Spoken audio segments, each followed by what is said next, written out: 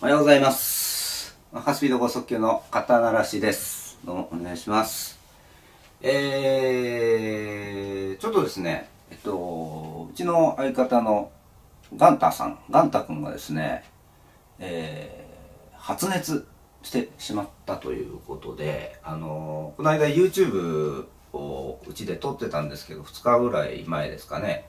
その日夜ライブだったんで、あの、今日夜ライブネタどうするんだみたいな話をしてる時に、いや、ちょっといけないかもなって言い出して、どうしたのって言ったら、ちょっとなんかだるいんだよねって言って、え？ってなって、あれ？コロナじゃないの？と言って、いや、でもなんか、あの、吐き、お？午前中に吐いたみたいなことを言ってましてですね、あの、あんまり、嘔吐っていう症状もあんま効かないもんですからですね、まあでも一応熱測った方がいいんじゃないのって言って熱測ってもらったらね、あのー微熱があったということで、えーすぐに解散して、えー病院に行ってくるわという感じですぐに解散になったんですけども。でねなんかね、あの病院で見てもらえないと。発熱外来難民みたいなことに今なっててるみたいでしてこう2日も経ってるんですけど電話しても繋がらない見てもらえないっていう感じになんか今なってるみたいですね。ちょっと心配なんであのー、ガンタ君に、えーちょっと電話で、えーどんな感じなのかあのー電話で状況をちょっと聞いてみたいと思います。ちょっと電話してみますね。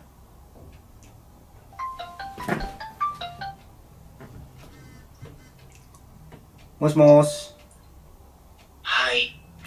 えー、ガンタさんですか？はい。だ大丈夫ですか？声がちょっと。はい。だだい大丈夫ですか？熱が出て帰られたじゃないですか2日ぐらい前ですよねそうですね。はい。もう今は熱はなく熱はあの日、そうですね。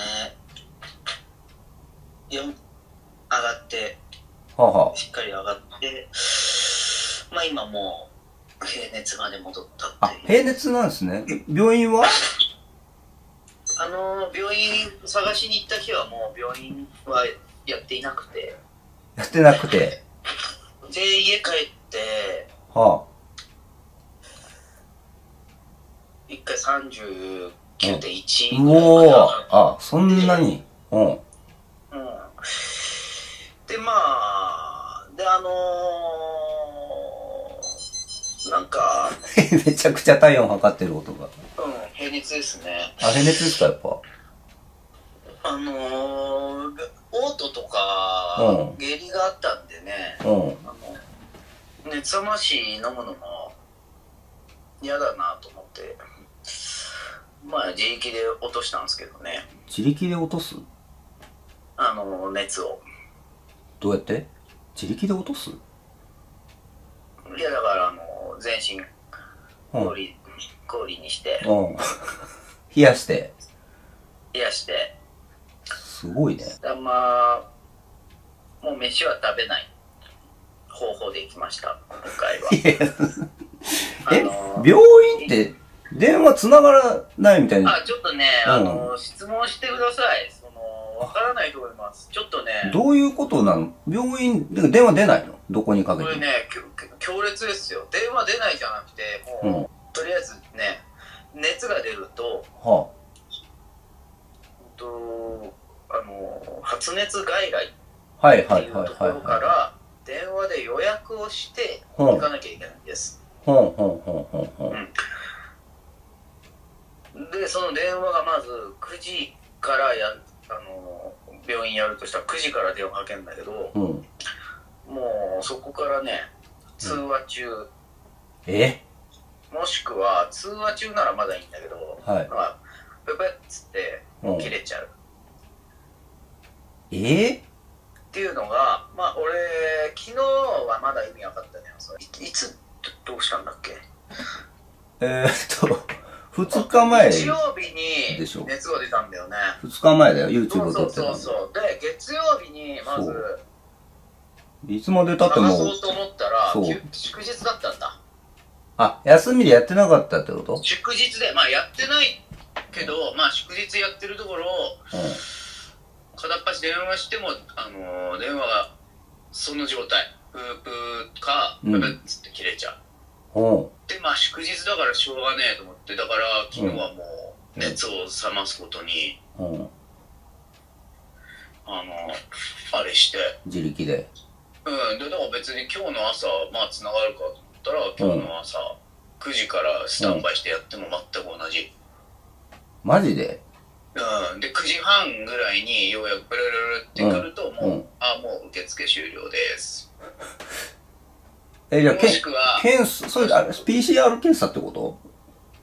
いや診あの察発熱外来なので、うん。PCR 検査っていうのはさらにうん。ステージが上で、あ、その手前の段階でってこうん、発熱外来チャレンジをクリアして、とうん。発発熱外来チャレンジ？うん。あごめんちょっと、うん。パスロットみたいに言っちゃった、ちょっとやめて。うん、わかんない。チャレンジとか。発熱外来チャレンジ、うん。やめて。聞いたことない言葉激ア。いや、もう、寄せなくていいから。激アツのコール音が聞こえたもん激アツでうん。それ出て、うんまあ、何時に予約っつって予約して行ってでうんそれの診断受けてそうんの先生がこれは、えー PCR 検査を受けてくださいって言わないと PCR 検査が受けられないらしいのうん。だからさその一番最初の全然何もできてないじゃん、じゃあ。もう普通の保留玉よ え、だから今、一応、どこにも行けないでしょ？隔離状態で家にずっといるっていうこと。だ。かもね俺の予想だけどね、うん。もうあれププっていうやつは病院はね、うんあれ受話器上げてるね。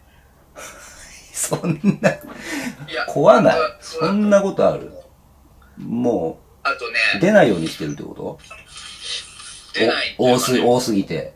ブルってならないようにしてると思うんだよねそんなバカな話あります？うん。いやバカなことになってるんですよ今多分であとね、都の発熱相談電話みたいのがねうん。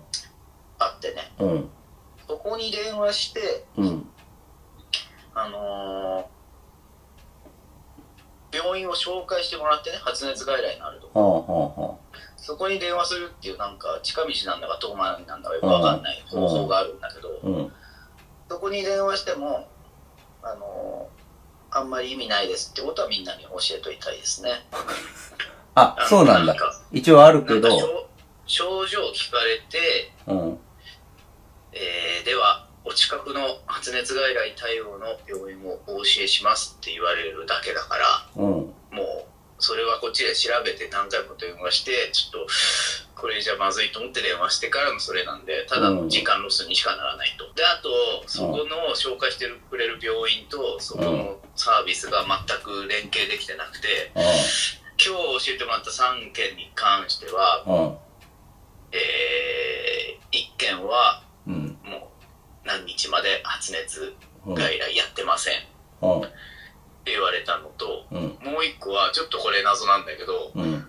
午前中はあのー通話中とかだったのにうん。午後電話したらうん。あの NTT ドコモの現在使われておりませんになったのね マジ？怖っ電話えぐ電話がエグすぎてうん。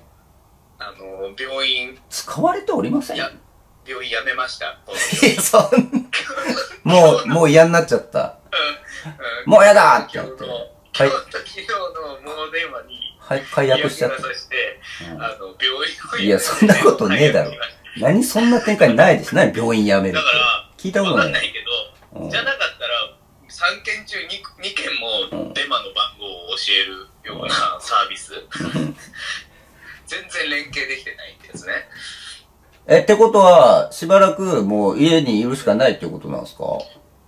だからどうすんの？もううん。本当に予約が 命で。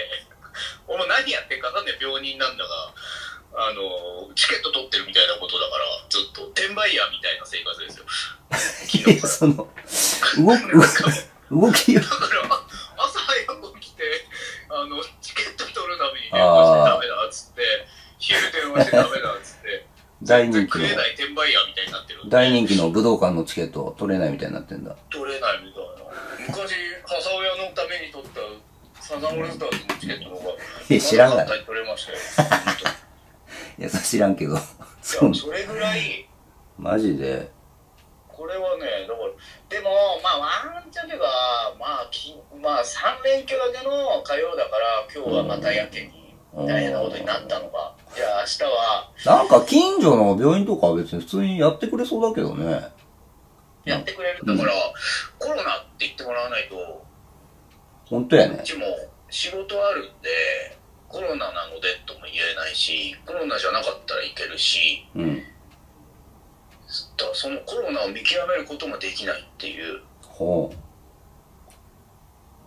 これ何をやってたのね？国は何やってたんだと怒怒ってます。怒ってます？そうですよ PCR 検査なんかね怒ってたんですね。うん。発熱してからスムーズにできなきゃうん。俺一切どどうしようもできなくなりますよそんな私もだってコロナって断定されてませんからそれはそうだよね。誰が？それる怒ってる。を誰が濃厚接触者？濃厚接触者今現在私の周り存在しないことになりますよもしこれでコロナだとしてもそうですね。ねおかしいよね。コロナと診断されてないわけです何をしてたんだと国は怒ってる。終わっえ？た。気持ちはわかるんですけど、まあちょっと、落ち着いてください、ねはあのー、元気なんですよしこりましたさっきい。もういいわ、そんな、もうや気持ち悪いな。あと筋トレもしたいしやめな、筋トレはさすがに。あのー、あとねやっぱ1日半ぐらいうん。食べ物を一切食べなかったから、うん。こうね試合前の格闘家みたいな体になってますね仕上がってる。仕上がってるというかなんかもう妙にしぼんでその体がで体重がもうめっちゃ落ちたよあの減量ああ、減量のね。の後半の方みたいな そんなに2日で変わる？そうなやっぱ減量やっぱ食わないとねのああ、そあとねじゃあこれね発熱外来をさまよってるねう。うん。難民。方が見ることになる難民が見ることになると思うんですけども、はい。一つ言っときたいのはねそう、アドバイスをお願いしますよ。アベマ？アベマ。アベマ TV が今一番面白いですねなんなんそれ？それなん？なんネットフリとか、アマゾンとか、それぞれ好みあるから。一通りみんなこう流行ったと思うんですけど、うん。ちょっとアベマそれ何のアドバイスそれ？で多分その一通りもう飽きてると思うのよ。ネットフリと、うん。あそこら辺は。いや、ネットフリックスも、新しいもんボンボンボンボン配信してるから、でも結局映画とかじゃん。まあ映画とか海外ドラマとか流行ってるやつあるでしょ、今。うん、そうそうそう。うんでも今、もう結構一周した身としては、アいろベマ一番面白いから、何の話それ？すっごい豪華で。これだって重要じゃん。難民で、家で、暇してるとき、結局仕事ないんだから 9, 9時に電話終わってうん、9時半までリダイヤル押してずっとプープーって音聞いてうで午後の部始まってプープーって音鳴ってん、うん、30分プープーやって繋がったと思ったらもう終わりましたって言われてうん。あと何その？アベマでしょ。いや、それ、それぞれ好きなもんがあると思うんで、そこは。アベマがおすでこういうのはいめ。いいいの聞きたくないですね別にそこはいいんじゃないですか別に。余計なお世話だと思います。好きな YouTube とかあると思うんでうん。アベ、まあ、あアベマ面白いって言われても。あそうですかちなみにな、あな、とね、うん痛かったのはねかかりつけの病院がなかったっていうのが痛かったかな俺はああ、近所によく行くみたいな。病気ならないから普段あ、そうなんだ。あの近所にないのよかかりつけの病院 そうなんだ。俺だったらすぐ行くとこはまああるけどな。そうな。ああじゃあまだちょっと話は早いかもしれない。とにかくそこに電した方が話は早いそうだね。繋がった時に。ちょっとだけ特別対応してくれるんだと思う、なんかそこら辺。明お、とりあえずじゃあ、つ、つながるまで、明日も電話すんの？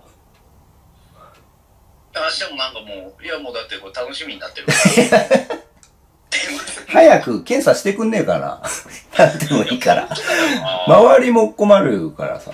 頼むよ。硬直状態はうん本当になってる方今いっぱいいらっしゃると思うんですけど、はいすごいストレスだと思う。あとまあ、まあ多いんだまだうん。軽症というかまあね。熱も下がってそうそう。あれなんで。これで症状が大変だったらそりゃ大変だねそう、うんわかりました。ありがとうございます。参考になったと思います。終わりですか？そうですね。もうそんなに結構長いこと。と、はい。はあ寂しくて。いや、アベマ見てください。アベマを。寂しいんです。アベマを。一人でもう飽きたんですよ。いやいやいや、二日ぐらいで、まだ早いだろ。ド。ラゴンボール見たないいや、見てない。見てないよ、ドラゴン。最近のドラゴンボール？見てない。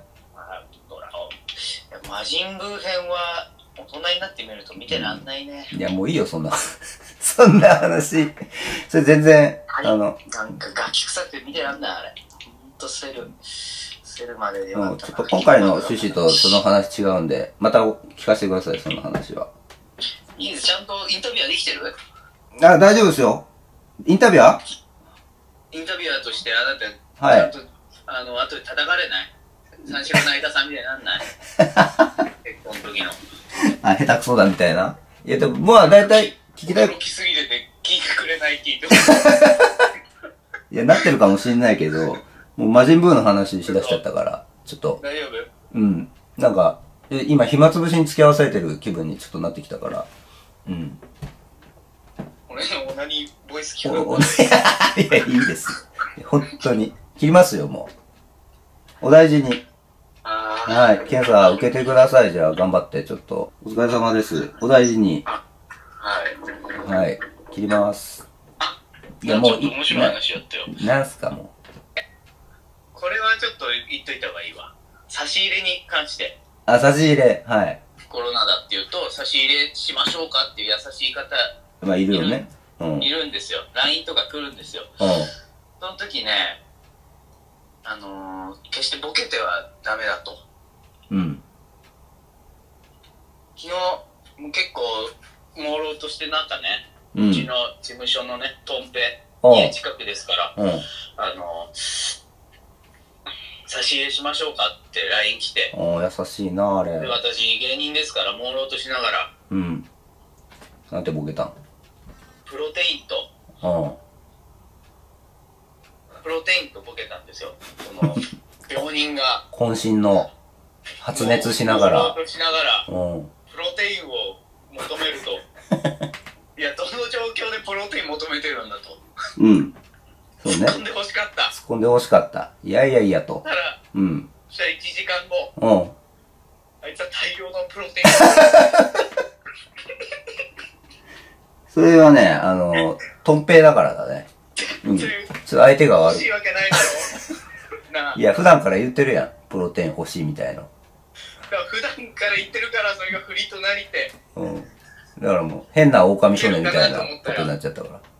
大量のプロテイン買ってきただから皆さんは決してボケないでくださいボケないと思います。本当に持ってきてしまうのでいや、トンペイもおかしいけどね。特に一般の方はちゃんと欲しいもん言った方がいいと。プロテインとか、そうボケはいらないと思います黒板消しとか、なんか、わけわかんないボケは。そうですね、うん、わけわかんない。まあわかせめてもっとわかりやすいボケの方が良かったのかなそうねそれもちょっと明らかにね、違うみたいなね。うん。明らかにプロテインだったら、鍛えてる鍛えてる鍛えてる 言ってほしかったんだ俺はわかりました。お大事に。はいはーい。はーい。はい。というわけで、えー、差し入れの時はボケない。見るなら、アベマ。という、えー、発熱外来難民のお話でした。どうぞ参考にしてください。えー皆さんもくれぐれも体には気をつけてご自愛ください。失礼します。